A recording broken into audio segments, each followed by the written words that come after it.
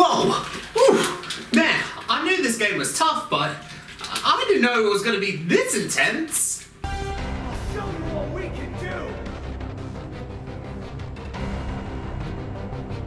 Ha! Hey man, how's it going? Ha! Hey dude, how the fuck did you get into my house? You left your door unlocked, silly Billy.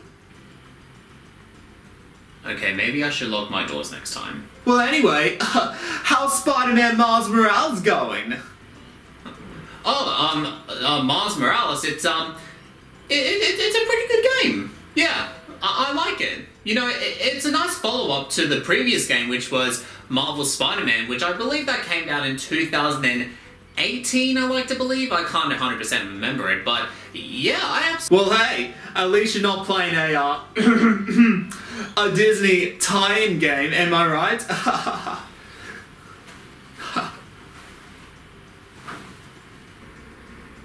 What the fuck are you doing? And why are you saying it like that? It, it, it almost feels like I am going to be reviewing a Disney tie-in game. Yep. So, something's happening, I can... I can feel it, and, and, and it's not those uh, th- those garbage trucks, by the way. Well, here you go!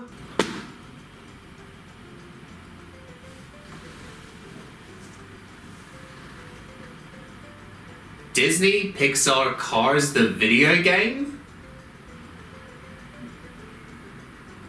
Wow. Now, when I saw this movie back in 2006, I absolutely loved it. It was an interesting take this time around for a Disney movie where you watch cars race on speedways for the Piston Cup, and they all have emotions and motivations as well.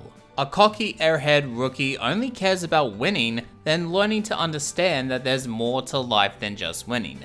It was filled with a ton of cool characters, and Mater was there too, but looking back, I had a feeling that this was all just marketing from Disney's side to create merchandise, especially having toy cars. The first movie was good, the second movie I thought flopped, and the third one, while different from my expectations, but at least they went back to their old roots to why the first movie was successful in the first place. And what were the odds when Disney decided to give the green light for a video game based on the movie? Since you have cars and video games coming together into one, of course you have to make a racing game. It was pretty much written from the stars right from the very beginning. Now, I loved this game as a kid. I would spend so many hours playing through this game and crashing into other cars as I drove by. What's up, Doc? And I think you know where I'm going with this. Because I played this game back in the day as a kid, that usually means now as an adult and coming back to a childhood game, I'm either going to like it or absolutely hate it because I'm now older and slowly getting wiser. So let that be a lesson to you all. Once you become an adult, everything fucking sucks. But anyway, I guess the only way to express how I feel about Cars the video game is to... Well, you know, play the game. Also, just keep in mind that I am using my PlayStation 2 emulator for my gameplay recording for the first time in this channel, and it is still a work in progress, just thought I'd let you all know on that. Cars the video game offers story mode, and we'll get straight into that. For difficulty settings, you can either choose full size or compact, and I went for full size cause I ain't a wuss. The story starts with Mater welcoming us to Radiator Springs Grand Prix, which allows recognizable cars and some new faces to join in the fun. After winning the race, it all turns out that Lightning McQueen was dreaming all about it. After waking up, it was time to start training for the big leagues to win the Piston Cup. And that's pretty much it. You compete in races to earn trophies, and with enough trophies, you'll be able to race in speedways. Keep doing this a few times and you'll manage to beat the story. As for how the plot goes, it's pretty simple. I guess I can't really complain too much because realistically, the game is more focused on the gameplay side rather than the story. It does follow the events after the Cars movie, and in a way, this game does feel like a continuation, almost feeling like Cars 2. But it's when you realize the plot here is way better than the actual Cars 2 movie. I will add that the story is a bit all over the place with different side stories, and I would have preferred the story to be focused with just one objective. The in-game cutscenes are well done, but I can't help to think that something is missing. No, it wasn't any ordinary race. It was the Radiator Springs Grand Prix. And you were in it. And Doc. And Mater was the announcer. Yeah, I think the majority of the cutscenes feels very quiet without some background music. It could have made those scenes more alive than just feeling like you're in an awkward conversation. But if there is something good here, is that all the actors are voicing their characters in this game, which I think is pretty cool. Every character you know and love is here. Lightning, Chick, Doc, Sally, Ramon, the twins, Mac, and many more. You also have new characters as well, which I do appreciate as it opens up possibilities for interesting personalities. It's almost like you can see these new characters and they blend into the Cars universe pretty well. Uh, was that supposed to be a foreshadow on Papyrus's laugh from Undertale?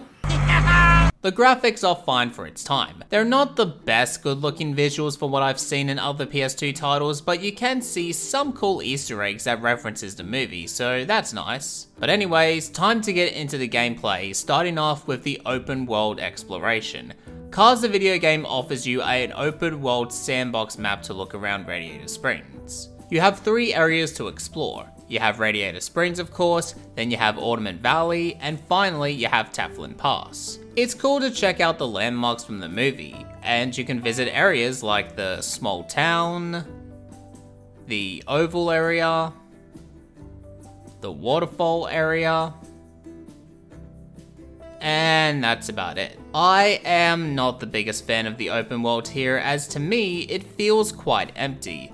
And I know it's located in a desert, so it's supposed to be empty, but what I mean is there's not much detail and it feels like it's not 100% completed. So on your compass you have races and minigames. All of the marked ones will be labeled as white, as in you haven't completed it yet. But once you manage to do so, then it'll be highlighted by a color, signaling that it's already been completed. What I don't like about these is some races and minigames share the same marker, and I find myself at times accidentally clicking on a race I've already done. Then I had to back out, and therefore I'm wasting minutes of my time. It could have probably been my fault that I didn't read properly, but at least they could have added individual markers instead of sharing the same one. Another thing I found weird is that while exploring, I don't see any roads or collectibles on my compass, but yet in a race, somehow there is a road showing me where to go, it feels a bit off to me. Maybe I'm nitpicking, but I do like to see what direction I'm taking, especially if I'm going to explore around the sandbox. Overall, besides the easter eggs, there's nothing too interesting to check out. Well, hey, look on the bright side, at least I can crash into other cars driving by. Hey Philip! Throughout the game as well, you'll come across these lightning bolts you can collect. They're pretty much your currency for the game, and if you have enough, you can unlock characters to play, artwork to see, and movie scenes to witness. I like the unlockable stuff you can buy, and you can even purchase and play as Chick, Hotwing, and the King, to name a few. So far, we are not off to a great start in terms of the gameplay, which is pretty strange because of how much I loved this game back in the day. But anyway, let's get our bloods boiling by drinking some caffeine and checking out some races. I didn't get my latte! I know exactly how you feel, buddy. So the racing gameplay is pretty simple. You have three laps and you try to accelerate to win. Throughout the races, you can also power slide the sharp corners, you can drive backwards as you learn that skill from Mater, and later on, you unlock a boost meter that'll allow you to speed up and go faster. You can also earn points by doing certain things in a race, like drifting, jumping, and taking shortcuts to name a few. The racetracks are fine, but they're pretty uninspiring and somewhat lazy because each race you partake in feels like you've already driven through this section many times before and it feels repetitive. And in some cases, races can be very similar when you're basically doing the same race again but in reverse, like with Radiator Springs Grand Prix and Sally's Sunshine Circuit for example. it's just the same goddamn race as before, and again, it does come back to how void the open world map design is. I do, however, enjoy some of the layouts the racetracks and the sandbox map the game offers, like how you have to jump past a huge gap in Tailfin Pass.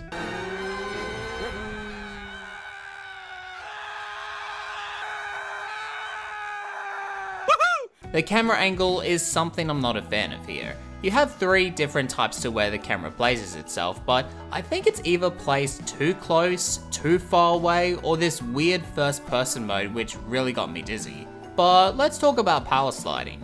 For some strange reason, the power sliding in Cars the video game is very inconsistent.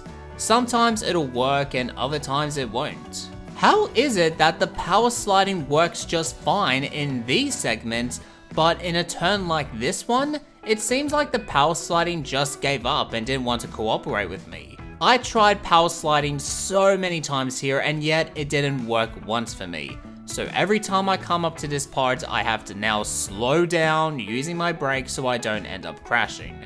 But that's not how a fast-paced racing game should be played. How it should be is drifting from corner to corner using your skills to the best of your ability as you accelerate to the finish line. But how can I do that if power sliding is kaput? Hey Sally, give us a kiss! And at times, this game does feel pretty easy, but I'm not going to complain about it too much here because it is a harmless game made for kids and trying to discuss it while being an adult seems pointless. But yeah, if you're pretty advanced in racing games, then you'll have zero issues here. I mean, you'll practically feel like a god in Cars the video game as you win a race by 30 to 40 seconds in front. The only sense of challenge I felt was in the Mater race, but as soon as you understand the layout and once you're in first, the challenge is immediately removed. But you wanna know something that's weird? Check out these statistics. Oh, st statistics. Is it statistics? Statistics. So,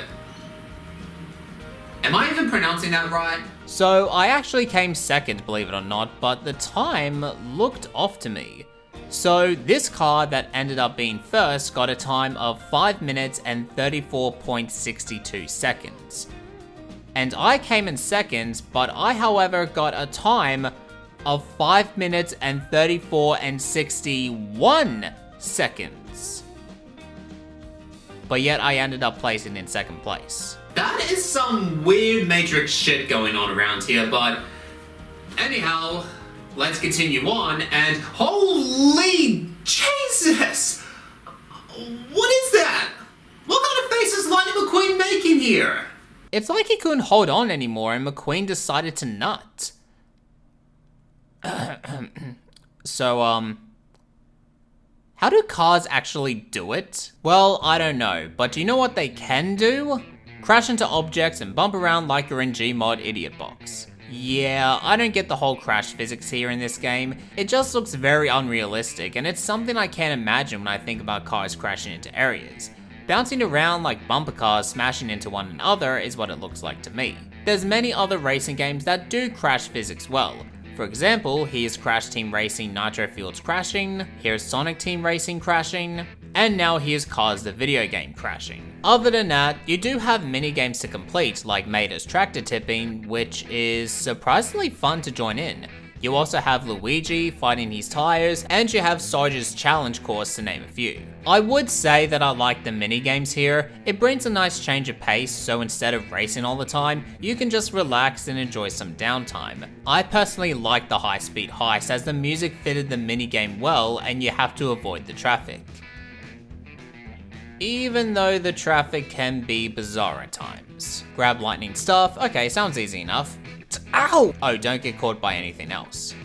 Gee, thanks game, you could have told me that before I got fucking hit. Let's talk about the music here. The soundtrack sounds fine and it does get you pumped up as you race. It seems the music they chose is pop rock and I'll admit it's not my personal favorite type of music as I enjoy a more heavier style of rock, but it's not a big deal. But what is a big deal is that there is no Life is a Highway. I mean, come on, it was one of the best songs in the movie and not being able to have it means I can't jam out to it. But, I will admit, there is at least one song here that I do enjoy.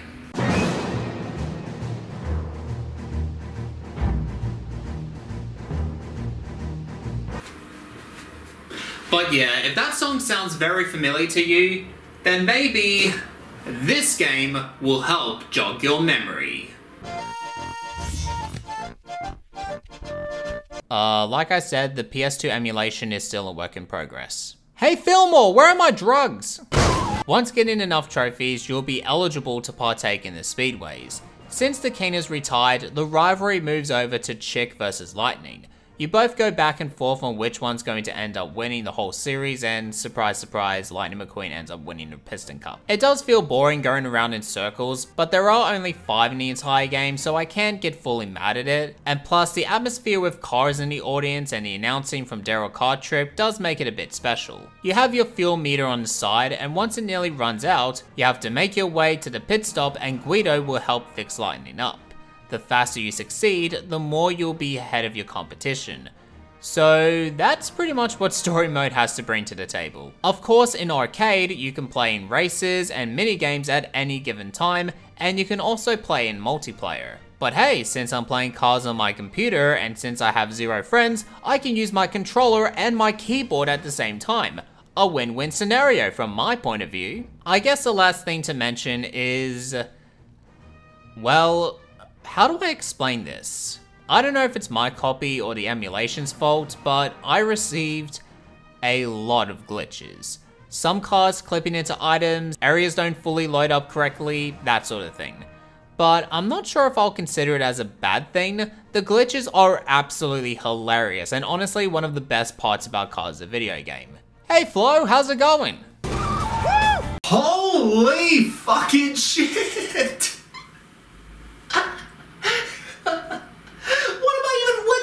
right now. Ladies and gentlemen, with the fusion of Lightning McQueen and Flo, we have this abomination. Okay, that that's it. That I I'm done with this game. I think this is the perfect way to end off this review. So I mean, I'm just gonna get to the verdict. So after replaying this game for what feels like a long time, I can report that this game didn't exactly age very well. I can appreciate the voice acting and the in-game cutscene animations are nicely done. It does capture the Disney feel, but in all seriousness, this is an average and somewhat unexciting racing game. It's a bit tough for me to say that, but nostalgia has to be thrown out the window if I want to come up with a clear conclusion. The open world is not that great, the controls can feel from playable to frustrating, and the races feel too similar compared to each other. But for a kids game, it's pretty decent, and if you have any children of your own, then this game is a good start to get them introduced to racing video games. But having said that, there are plenty of other racing games worth giving attention to than this game. So with that said, I'm going to be giving Disney Pixar Cars the video game a score of 5 out of 10. It's not the worst racing game I've played, but I have played other racing games that do have much more value and more replayability rather than this game. But I am glad I was able to play this game back in the day and enjoyed it for what it was when I was a child like a tiny squeaky little, little, little boy. But anyways, thank you for watching this review, and if you enjoyed it, make sure to leave a like, share the video, and subscribe to the channel. You can follow me on Twitter and Instagram, the links will be down in the description box below. My name is Cheese and Crackers, telling you to keep calm and keep playing video games.